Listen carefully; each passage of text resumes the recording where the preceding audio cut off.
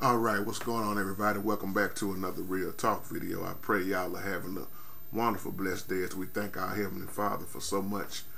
My title now says, The Author Who Authorized.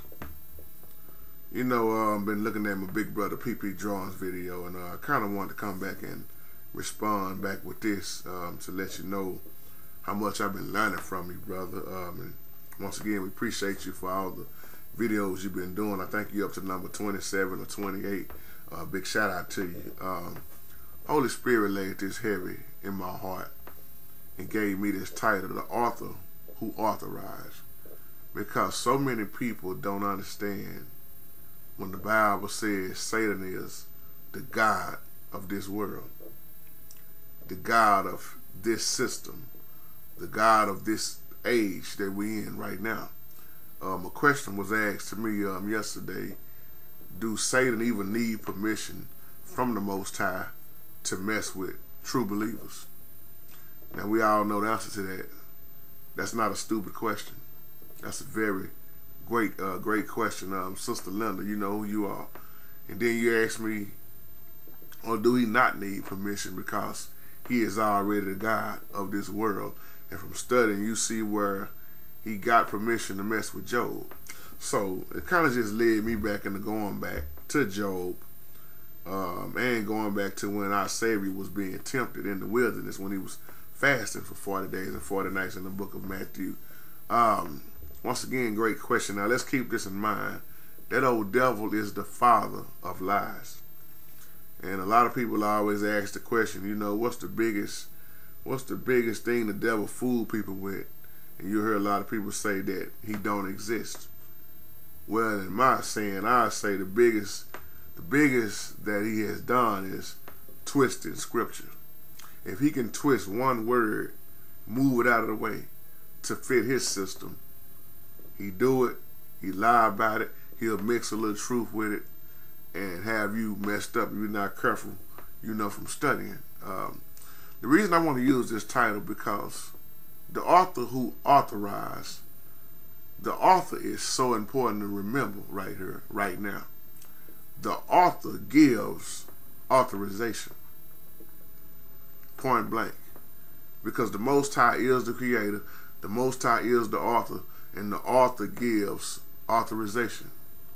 But we must understand what happened from day one. We have to go back to Satan's rebellion. We have to remember he wanted the Most High's place. He wanted to be worshiped. He wanted to make himself just like the Most High. And we all know that our Father does not share the glory with nobody. Our Father has no one above nobody at all. And we got to understand all this. And if you understand this, then you know what I'm talking about in this video about the author who authorized and that the Most High is in charge. Point blank. No ifs, ands, or buts about it. But Satan wanted to be worshipped. His desire was to make himself like the Most High. Now, when you look at the word author, hmm, Genesis from, from the beginning teaches us that our Father is the author of this entire universe, including Satan himself. Satan was an angel created by who? The Most High. Satan has never been divine. How can he? So by saying that, Satan is not equal to the Most High. So once again, when you think about this word authority, look at the word author. It comes from the word author. All authority comes from the Most High. And the ones in position of authority was placed there by the Most High. That's why you have to time hear me say on her what? Satan is an imitator. Since Satan can't create, he imitates. He's a, a, copycat, we like to say growing up. He ain't nothing but a copycat. That's why when you see Holy Spirit, you see demonic spirit. You see demonic angels, fallen angels, and then you see holy angels you see the word Christ, and then you see the term Antichrist. So on and so on and so on. Everything that our Father do, you see where Satan tries to imitate it, to copy it because he cannot create. And our Savior, back in Matthew 28, told his disciples that all the authority in heaven and earth has been given to who? Our Savior. If you understand our Father being with us, Emmanuel, God with us, to leave glory, to come down here to be humiliated, come in form of a man, and was still God, Almighty God, the Most High, but allowed himself to go through what he went through just so we can have a chance to have eternal life, just so we can make it in. So he told his disciples about the authority in heaven and earth was given to him. He even say, I hold the keys to Hades' death. So, when you look at this authority, did Satan really, let me put it like this. Did the Most High really give Satan authority? Or did, did Satan take what he took? It's not a trick question. When you go back to our brother Adam, what went down in the garden, and I ain't talking about no bite or no apple like these preachers out here, a lot of them like to preach. Some of y'all know if you've been looking at me a long time, you know what I'll be saying about the garden. But when you go back to the fall, when sin took place, when separation took place, it never was right ever since then. Because the Most High gave Adam that authority. He gave him all of that. He gave Adam a job that Adam didn't really have to do that much. But be obedient, take care of the garden, but when when sin happened, that that fellowship got broken, and a whole lot of more other things got broken. The Most High blessed Adam. Adam had it all, and he just pretty much gave it away. then our Savior got on the cross. So you'll see the Most High gave it, Adam lost it, most High coming to get it back. Hmm. He redeemed us. Satan's job is to kill, steal, and destroy. To kill, steal, and destroy. So he takes, takes, takes. So I'm going to say this again. Did the Most High really give Satan authority, or did Satan take it from the ones who failed? any authority that this old devil exercises was taken, not given. That's why you hear so many people walking around with this mentality, man, I got to get back what the devil stole from me. Hmm. I got to take back what's mine. I got to take back my marriage. Satan stole this. Satan stole that. Satan got in my children. Satan caused me to lose my job. And then you got to ask yourself, is it really Satan all the time? or you got to understand something that got a lot to do with yourself because there is a battle between you and you. There's a battle between you and the devil. There's a battle with you fighting against the Most High. There's a battle with you in this world going at it with each other. That's why you got to catch the series on what my big brother PP Drawings is doing about this world, this system. That's all it means is the system.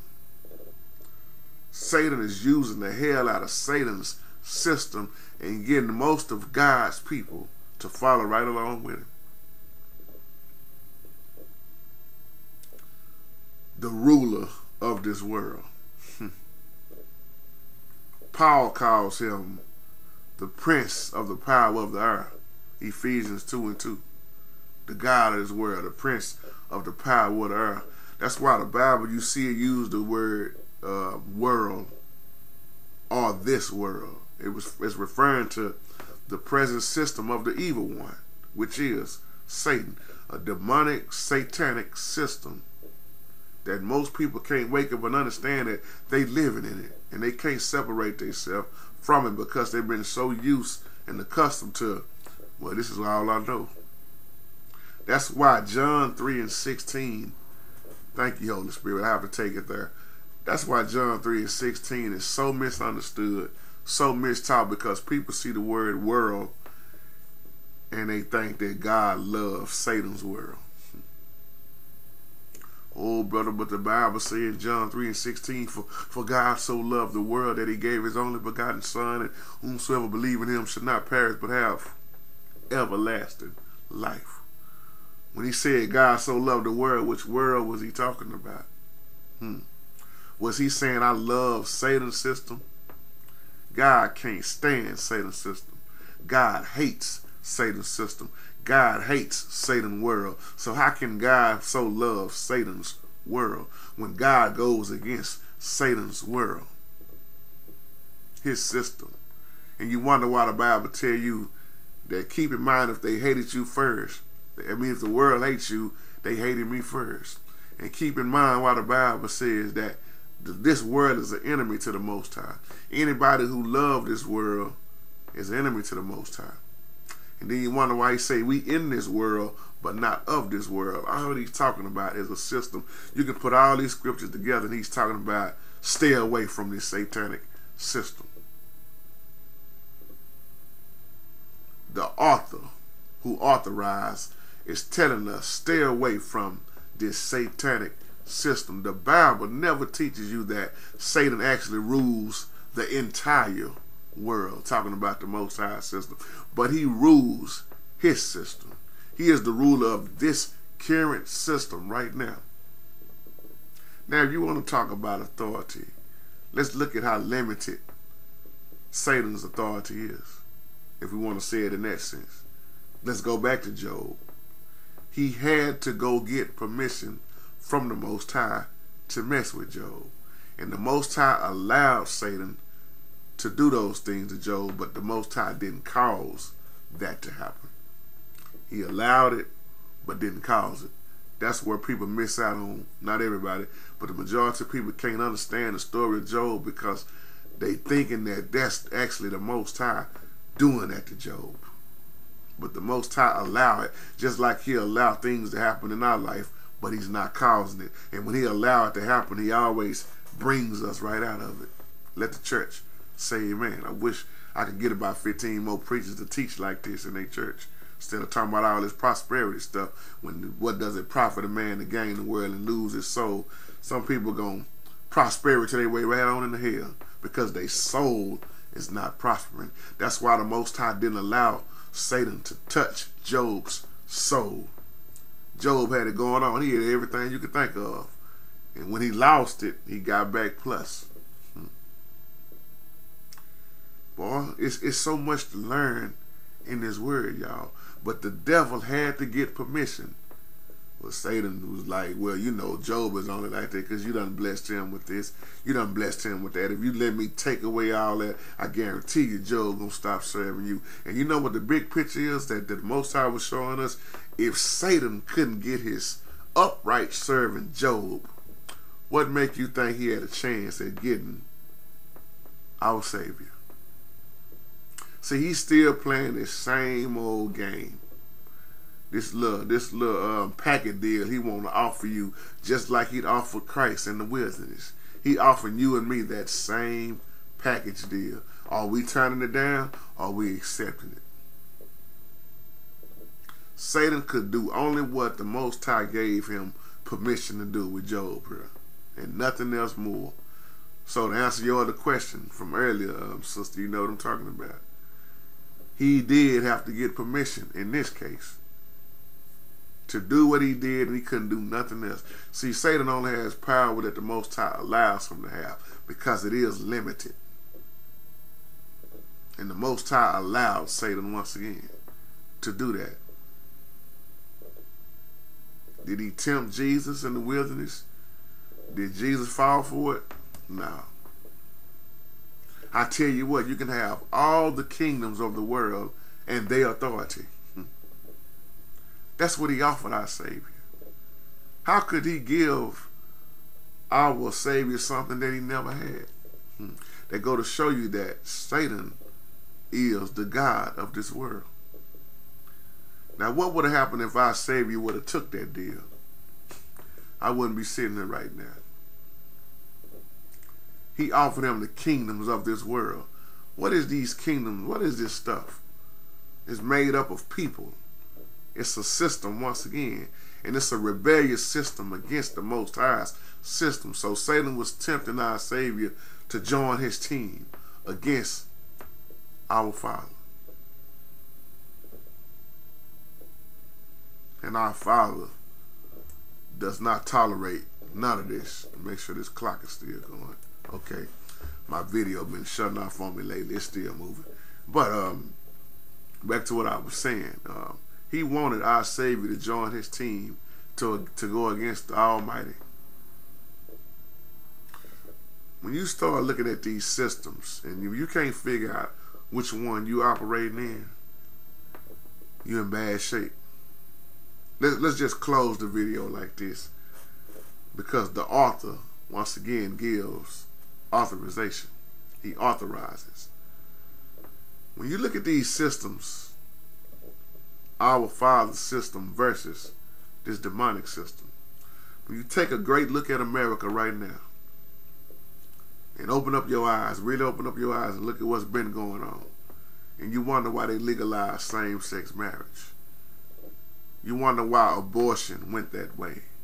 You wonder why everything that the Bible say don't do now the system says it's okay to do. You wonder why two men can get married, two women can get married, gay rights. You wonder why politics is all over the church. You wonder why everything that's wicked is accepted now. Because this is a crooked system. The Supreme Court on down, demonized on down. You the love of money, this evilness, the internet, everything is happening because this is Satan's setup. He moves through communication, airwaves, radio, satellite, movies, cell phones. Once again, why would you say that, JT? Because he is the prince of the power of the air. What's in the air? Think about that. Why is the internet so wicked? Why this little phone here got more mess on it than anything you can think of? And we wonder why the Bible says something so serious like this battle is not against flesh and blood. Rulers of darkness is what you see. Principalities. But with that being said, all authority comes from the Most High. Go back to Romans 14 and 1. And those in position of authority have been placed there by the Most High.